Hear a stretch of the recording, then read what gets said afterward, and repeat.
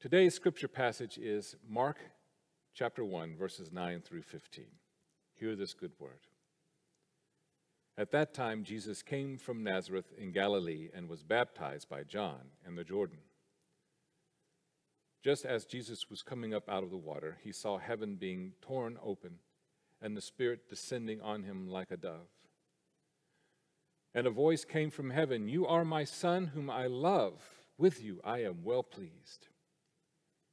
At once the Spirit sent him out into the wilderness, and he was in the wilderness for forty days, being t- tempted by Satan. He was with the wild animals, and angels attended him. After John was put in prison, Jesus went into Galilee proclaiming the good news of God. The time has come, he said. The kingdom of God has come near. Repent and believe in the good news. So today is the first Sunday of Advent. I mean, today is the first Sunday of Lent. And the Lenten season is the season of 40 days to prepare us for Easter. And it's during this time of Lent that, that we, we spend time contemplating and, and, and exploring what's going on in our lives and what areas in our lives do we need to, to create change. Now, what I want to do is just call attention to the scripture passage, and I just want to, to call attention to the series of events.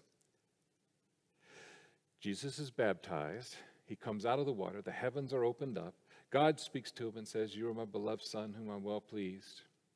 And then it says that he was sent into the wilderness by the Spirit. Now, the word sent in this passage in the Greek more literally means cast out. It's a much more um, powerful term than just sent. No, he was cast out into the wilderness. So here you go. You have this incredible experience, and the heavens opened up to you, and the next thing you know, the Spirit that talked about how beautiful and lovely and how pleased it is cast you out into the wilderness for a wilderness experience. Now, Mark does not give us the details that Matthew and Luke do. In fact, the Gospel of Mark, as you will experience it this year, is the, is the shorter version of the Gospels. And with Mark, there's a consistent theme of something happening immediately or it's about to take place right now. During the, the season of Advent, we, we spent a lot of time on the baptism of Jesus, and so I'm not going to do that here today, but we will we'll draw upon what we've learned previously. But today I want to, to, to focus more on the wilderness and also the repent and believe. So, it seems to me that we should be able to relate all too well with Jesus' experience of having that glorious moment when the heavens open up than to be cast out into the wilderness and to experience hardship, difficulty, right? Uh, I believe COVID has done that to every human being on this planet, right? Life is going beautifully, life is going well. Oh, isn't, aren't things good? And then within a split second, everything turns, everything changes. We can relate to that. I know that, that, that for, for, for my beloved, a job she sought for two years, she finally got.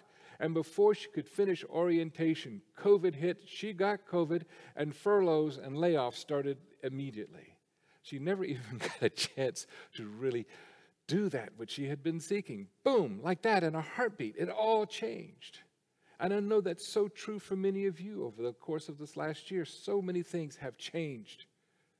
But it seems to me also that COVID is not only a our wilderness experience, but is the whole world's wilderness experience. What is going to emerge after COVID, right? And it seems to me that also, what are we learning? What are we changing? I, I, I believe for many of us, we've reprioritized what is most important in our lives. And also, I bet that all over the world, none of us will, will take advantage of or not totally appreciate what it means to be able to be with each other and to be connected. Maybe this wilderness is going to help humanity to appreciate more what it's like to see each other and to be with each other. We'll see.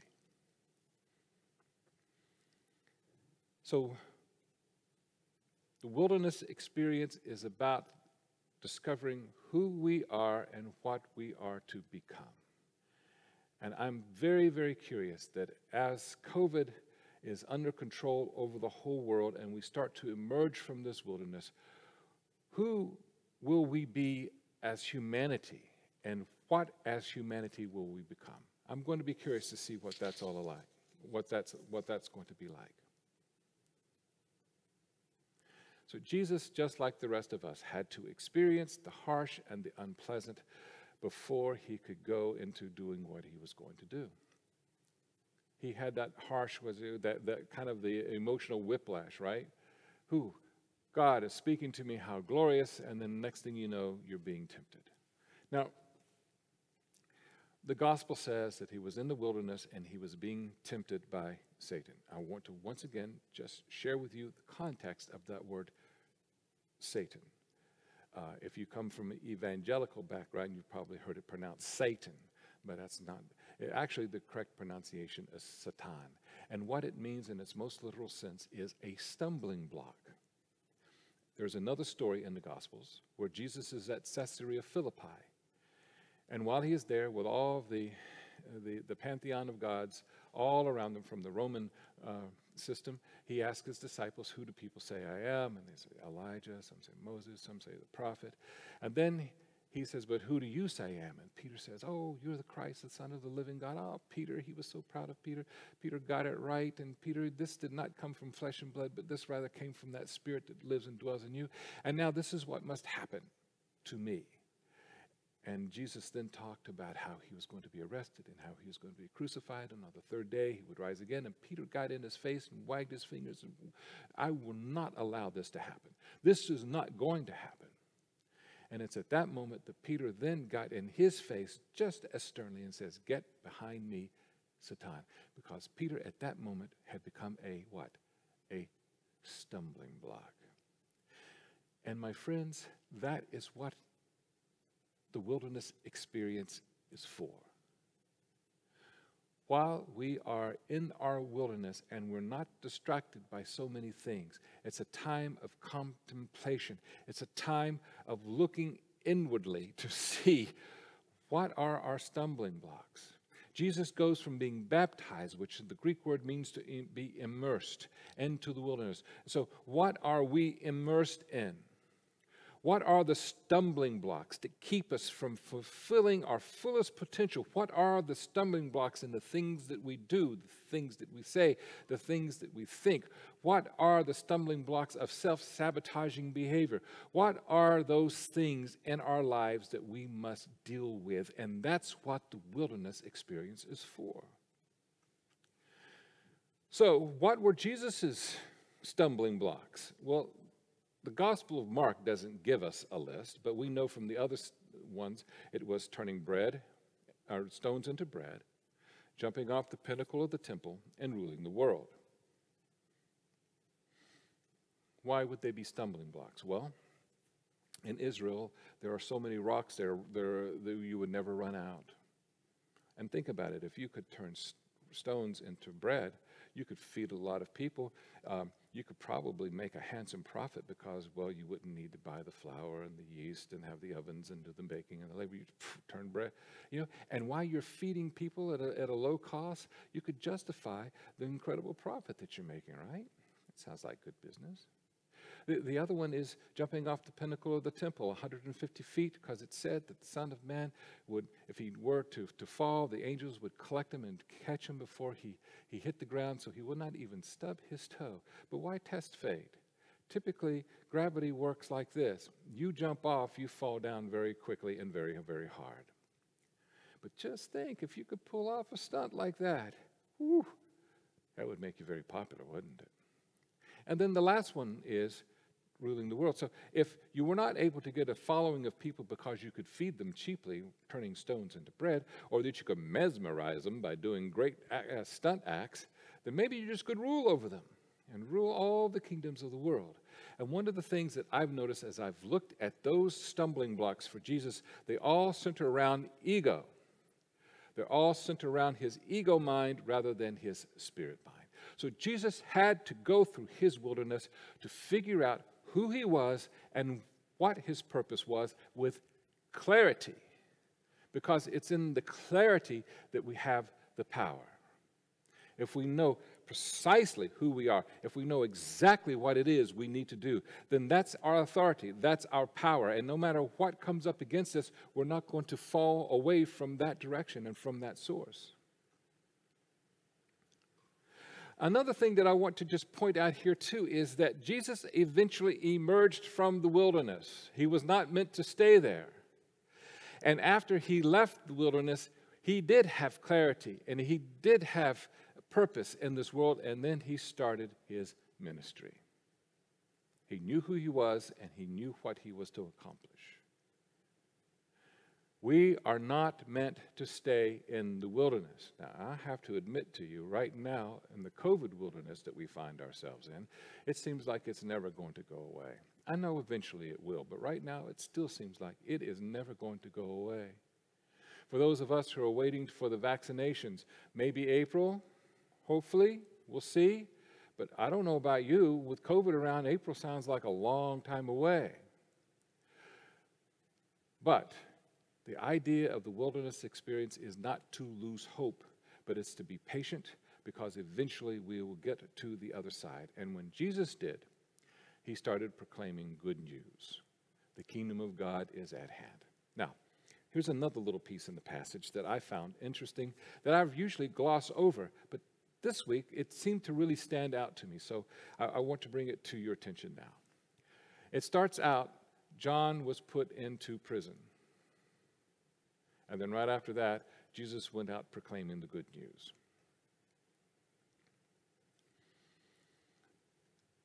I see something symbolic and metaphorical here.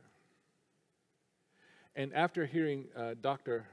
Uh, Crossan lecture on this idea of the kingdom of God is at hand. I, I, can see, I can see the metaphor here more, more clearly. John the Baptist was the old school idea about the kingdom of God. He, he was more the apocalyptic voice, and I've talked to you about that before in the past. Uh, the apocalyptic is the, the idea is that humanity is in a state that humanity cannot cure, so God must intervene directly. And the old school prophecy about the kingdom of God is that God would literally intervene in time and space, and God would find a place and place God's kingdom in that spot. And I'll never forget Dr. Crossan the way that he was just kind of humanizing the story.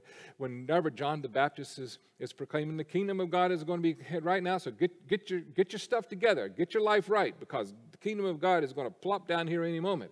And the people say, Yeah, but didn't you say that last year? And, you know, I've, I've heard other prophets, you know, 20 years ago, I heard a prophet saying something very, you know, oh, it's at hand, get yourselves together, you know, oh, you know, God's coming and, you know, get busy. And it didn't happen. Oh, but this time, this, this time it is. This time it is. And, well, it didn't. And what I see as a kind of a, a, a symbolism here is that that type of thinking had to be put into prison because that is not how the divine works. God is not going to plop God's kingdom as a physical place upon this planet, and everybody has to travel to that place to see God. It's not going to work that way. It never has, nor will it ever.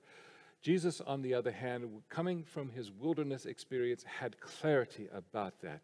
When he says, The time is now, the kingdom of God is at hand. Jesus was not talking about God was going to establish a literal kingdom on earth where God would sit upon a throne, but rather, Jesus was saying, The kingdom of God is at hand because it's right here in the heart and the soul of every human being.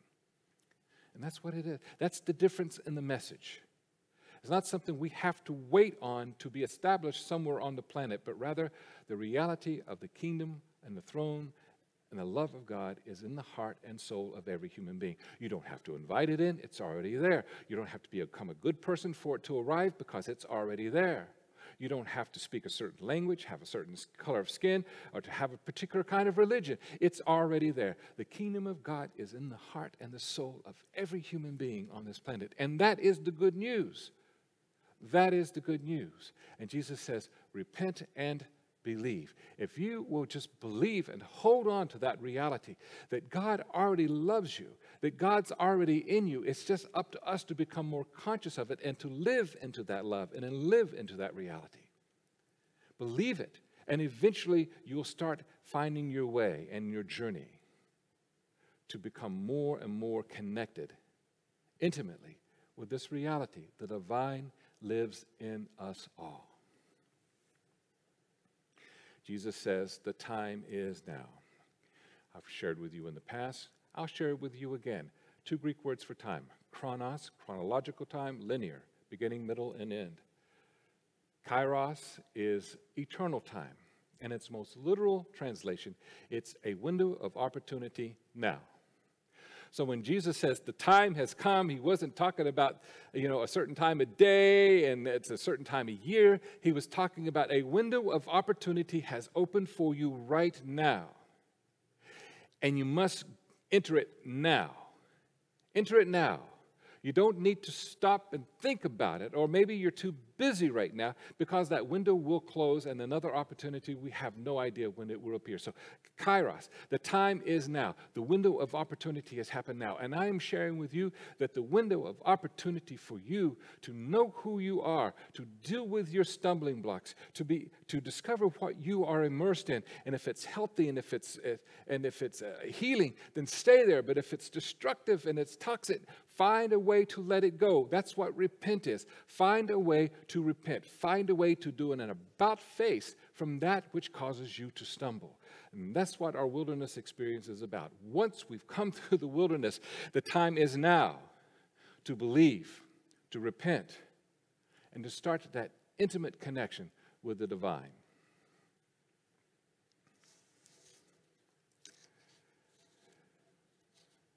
So, what is the work that you need to do so you can emerge from the wilderness with clarity and purpose? What are the voices around you and in your mind telling you about who you are and what you're to do? Uh, I'm going to conclude today's message with a quote from Henri Nouwen. And this quote comes from Bread of Journey, a daybook of wisdom and faith. Henri Nouwen wrote Many voices ask for our attention. There is a voice that says, Prove that you are a good person. Another voice says, You'd better be ashamed of yourself. There's also that voice that says, Nobody really cares about you and one that says, be sure to become successful, popular, powerful.